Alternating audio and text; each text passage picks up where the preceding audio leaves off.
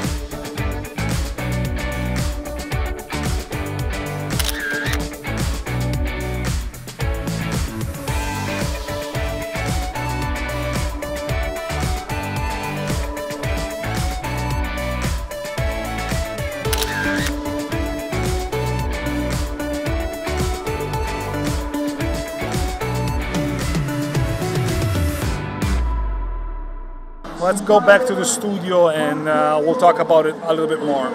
And here we are in the studio. Now, let me preface the whole conversation by saying that this is not a review. This is definitely not a review because while I'm grateful to the Leica store in Milan to let me use the Q3 for uh, the testing, uh, I would be stupid to consider a 30 40 minutes test uh, enough to push out a full review. So these are impressions, first impressions. And speaking of impression, there are a couple of things that um, need to be mentioned before going getting into the details of, of, of this camera. I won't dive into too many technical specifications. There's thousands of videos already around that cover that, so go watch those. And I won't even talk about video capabilities because I didn't I didn't test those just because I think this is more of a still camera, so I focused on the still capabilities of this of the camera. Now, um, going back to uh, things that needs to be said before diving into the product uh, overview or impressions, this is a Leica product, and being a Leica, Leica product, it becomes divisive just by definition. And there are two main factors that need to be um, taken into con consideration and playing a huge role in, ev in evaluating a product like a Leica camera. Uh, the brand fascination and the bias that this generates and the price the camera is sold at, which again, being Leica, is high by definition. So let's get a couple of things out of the way. Do I feel uh, subjected to the brand fascination? Definitely yes. Uh, am I somehow potentially biased toward the camera? Probably. Um, do I think the camera is expensive? Hell yes, I sure do because 6,000 euros, I guess in dollars it's a bit less, but we're, we're about approximately there. It's a lot of money, a lot, a lot, a lot of money. Can I afford buying this camera? Hell no, at least not now. Or I cannot justify spending that much money for me into that camera. So keep those things in mind from now on in when listening to what I say because those are factors that can play a role into uh, the conversation that we're going to have.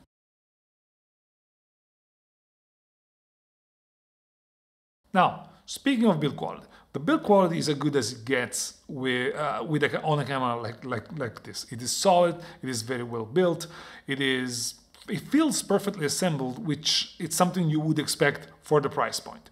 Uh, controls are nice, uh, and they're all the vast majority of controls are on the lens. Those are tactile and a perfect amount of friction. They really feel great.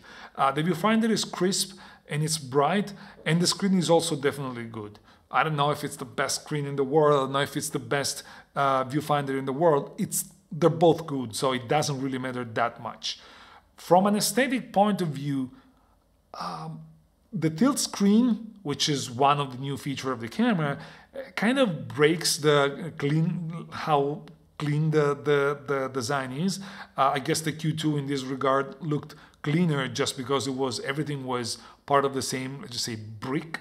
But uh, it is also so useful that I don't personally mind uh, having a slightly less clean look if I have a huge um, benefit when it comes to using the camera. So as long as it doesn't look ugly and it doesn't at all, uh, I'm okay with it. The benefit of using that screen, that the tilted screen, is definitely, definitely a huge plus. So again, I don't mind. Dimensions are compact, but again, compact is kind of re relative for com comparison. Our Ricoh GR3, which is still a 28 millimeters equivalent uh, lens and camera, it's way smaller and it makes the Leica look pretty good in comparison. But we're comparing uh, an APS-C f2.8 camera with a retractable lens uh, against an f1.7 full frame body. So it would be silly to expect uh, comparable size, dimensions, and weight as well. As a consequence to have a tiltable screen, all the controls that used to be on the left side of the screen are now on the right side of the camera, which makes it more useful because you can definitely use, you get everything at the, at the reach of your thumb. The macro switch on the lens is very clever and it doesn't only activate the macro capabilities, but it also changes the scale in the focusing distance, again, scale in the, in the, in the lens so that it makes it easier for you to even manual focus if you want to. The one thing, speaking of macro and autofocus, actually manual focus, the one thing that I found some issues with is the little uh, switch that you have in the fo focusing ring controls, which allows you to move from autofocus to manual focus. You need to reach like below it and you just need to make sure and it's not super easy to uh, re realize that, that you're there. But I believe this is due to the fact that uh, I haven't been using this camera for a long time. I, I, would say that in a couple of hours I would probably get used to it and it would be no issues for, for me at all. Um, the aperture ring is clicky and it's clicky to the point where it's perfectly stiff for you not to avoid, not to have not wanted movement of the of the ring. And at the same time is easy enough to move when you want to so that you don't have to put too much uh, force into it.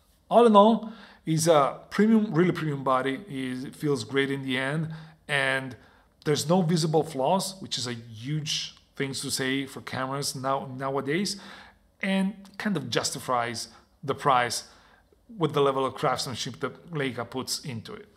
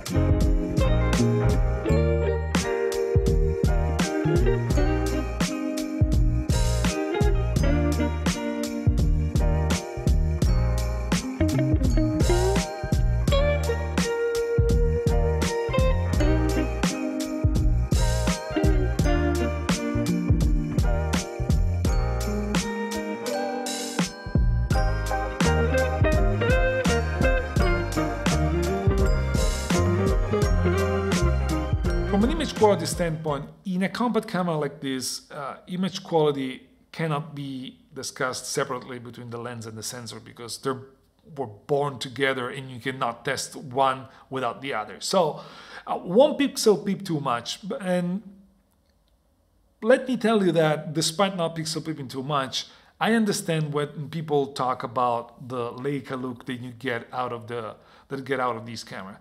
Uh, it is hard to describe in words. It's a combination of colors, deep blacks, an overall look of the image that is really, uh, really uh, pleasing to look at.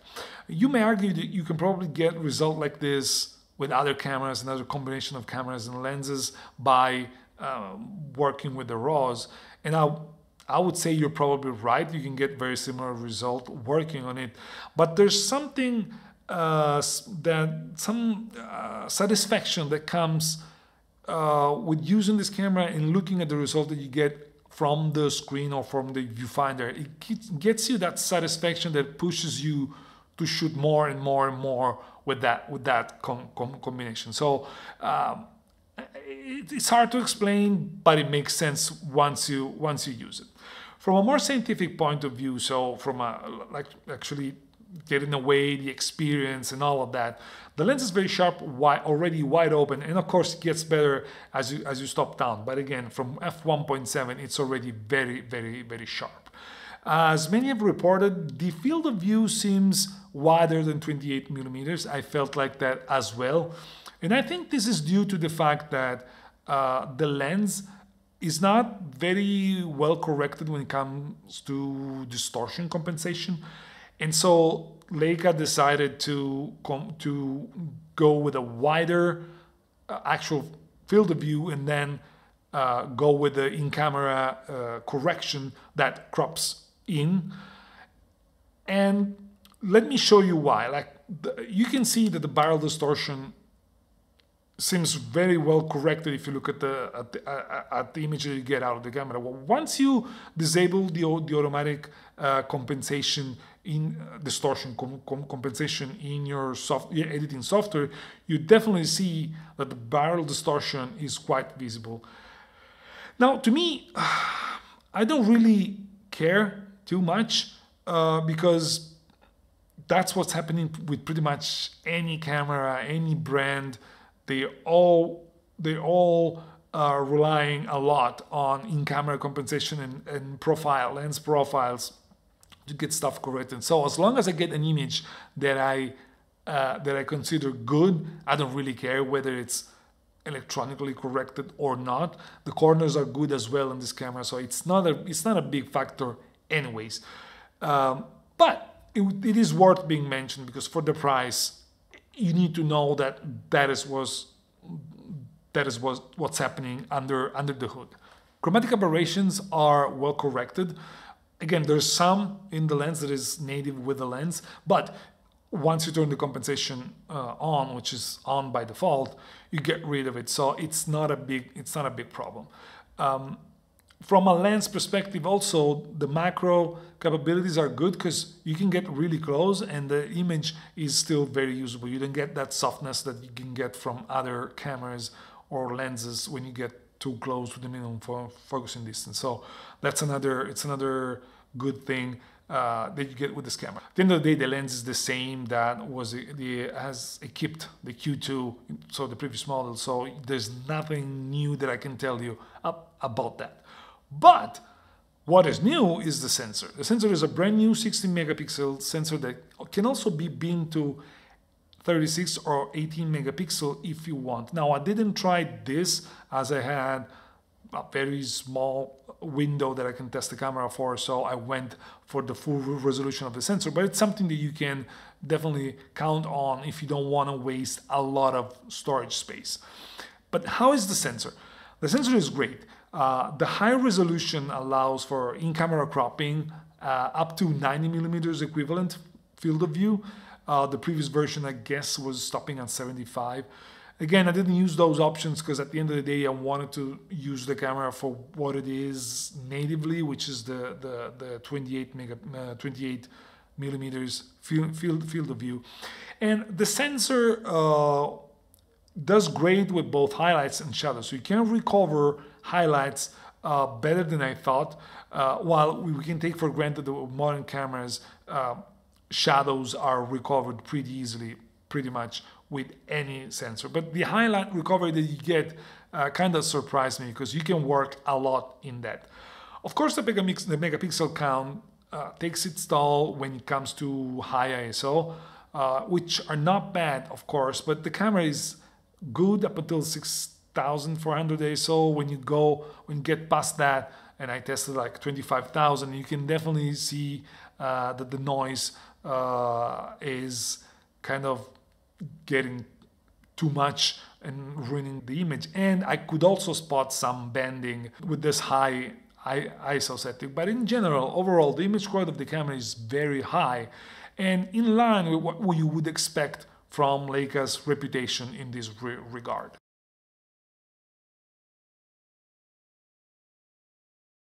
Autofocus is another of the uh, new uh, features of the of the camera. It's not that the previous didn't have an autofocus, but the new one has a more uh, modern and more uh, feature-packed autofocusing system. Uh, there's a reliable tracking, a face tracking is finally av uh, available and it's fast and reliable. I definitely missed some shots, but I can pretty much mm, say that it was user error because I don't know the camera very well, so I didn't have the time to just get used um, with the way the camera focuses. So I would say that, uh, in my opinion, the autofocus is uh, more than enough for this type of camera, and I believe for cameras like this, there's nothing better around. Of course, I haven't tried all the potential cameras, but among those that I've tried, it's hard to find something that is uh, way better than, than, than, than this. Of course, for the this is related to the audience that this camera is designed for. You're not gonna shoot sports. You're not gonna shoot uh, wildlife with this, so you cannot expect Sony's A1 or Canon R3 uh, autofocusing system with this camera. It's not what this camera is meant for, and you gotta think about it when you when you speak about autofocus. Again, for the audience this camera is designed for, the autofocus is more than capable and it's more than re re reliable. And to me, this is a big plus because I'm an autofocus type of guy. I'm not minus monofocusing that much. So that to me is an important thing. The fact that it may be derived from Panasonic's AF system doesn't really bother me that much. At the end of the day, autofocus is something that you need to have a lot of R&D uh, involvement get good at. And uh, autofocus is not the main uh, let's say business uh, in, of Leica system. Their M camera is, man, is manual focus, so it's not that they have uh, a huge uh, sample of autofocusing systems. So if someone else does it, someone else that you share some of the um, components with, uh, and some someone you can collaborate with. Someone has a, good system.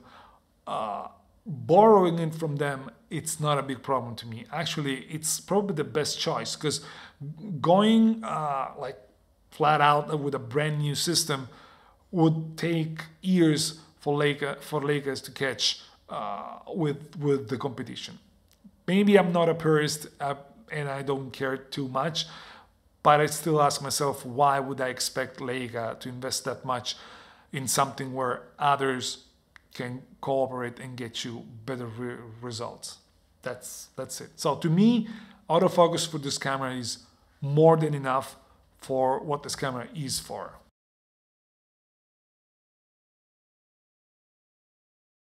So, is this camera worth the hype? That's a very personal question and the answer that each one of us can get can give to this question may vary dram dramatically. To me, the answer is yes. I, although I personally can't justify spending this much for this camera, I definitely believe that this camera lives up to the hype uh, that comes with it. Uh, especially because if you consider the competition, uh, it is clear how Leica has found themselves in a niche, a niche that basically has no com com competition. Because when it comes to compact, full frame compact cameras with fixed prime lens, uh, there's basically no competition with the exception of the Sony RX1R Mark II. But that camera is old, the autofocus is not good at all, and even the sensor is not comparable uh, to what Leica uh, gives you in this one. And in general, the Q3 is a way better camera to handle and to use. The viewfinder is way better, the screen is way better. You can definitely see that there's seven years of difference, I guess, uh, between the two cameras, or four, maybe, I don't remember, but it doesn't make too much difference. So there's basically no competition for this camera. So yes, $6,000 is a lot of money for a camera like, like that. But what goes into that is the uniqueness of the camera, the uniqueness of the brand and its own history, and the high quality of the craftsmanship that uh, is put into the camera. Now, whether you can justify spending that much on this camera, uh, it's not based on um, scientific results. Uh, can you get similar result with the, with less money? Definitely, you definitely can because uh, maybe you don't get the exact same quality, but sure you can find combinations that get you uh, close result, and by working on the raw you can get very similar re result. Uh, you can find millions of reasons to consider this camera overpriced. And you would be right, there's millions of reasons to consider this camera overpriced. But Leica is Leica, and there's a reason for that. And this reflects also in the high value that the, each of their camera retains in the used market. And speaking of the used market, I believe the only competition to this camera is Leica's on Q2, so the predecessor to this camera. Because at the end of the day, you get the same lens, a very similar body, and in general, very similar experience in a super well crafted body with um, something that you leave on the table if you go with, with, the, with the Q2 because you lose uh, the tilted screen, you lose the modern AF, you, so, you lose some video qualities, although I didn't test it, I know what, what it's capable of. And, and other uh, things that got uh, upgraded with new gen generation, but overall the experience is very similar. So if you have to consider the competition, the Q2 is the only one that I would consider. But what what would I do? What would I do? Would I buy the Q2 or would I go all in on the Q3? If it was for me, I mean, if I had to do, if I have to decide between the two, I'll walk the extra mile and uh, go with the Q3.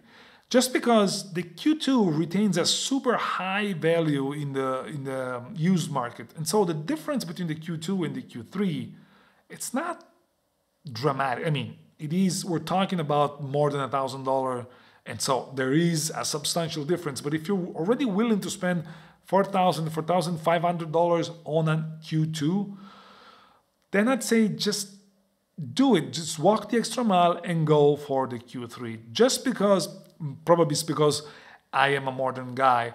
The tilt screen, together with the better autofocusing system, and in general the uh, relocation of the dials on the right, makes it for a better experience. And since you're paying a lot of money anyways for a camera that realistically you're gonna keep for a long time, I would go, I would walk the extra mile and get the Q3. Of course, if a Q2 could be found around $2,000, that would be a completely different change of scenario. You can get it, if you could get it for half the price, I would definitely say, definitely explore the possibility of getting the Q2 because I'm pretty sure that one has a high quality anyways, even from an image quality standpoint. But as it stands, there's no reason, in my opinion, to go for a used Q2 against a brand new Q, Q3. I believe that's it for today. I hope uh, you like this, this content. Um, don't forget to subscribe to the channel if you haven't already and leave me your comments in the in, in the comment section below because I want to know what you think about the camera if you're thinking about buying it if you had an experience with a Leica Q and you want to share what is your uh, experience with that I would definitely appreciate that so thank you again that's it for today Ciao, and I'll see you in the next one. Bye bye.